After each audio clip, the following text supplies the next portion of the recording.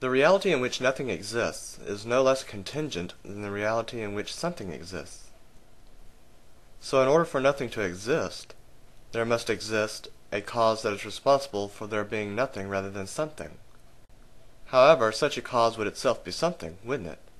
So if such a cause were to exist, then even if nothing else existed, there would still be something rather than nothing.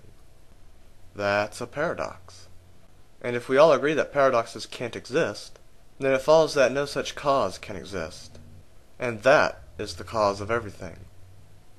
That is the reason why there's something rather than nothing. In other words, everything exists because there's no reason for it not to. What can exist does exist.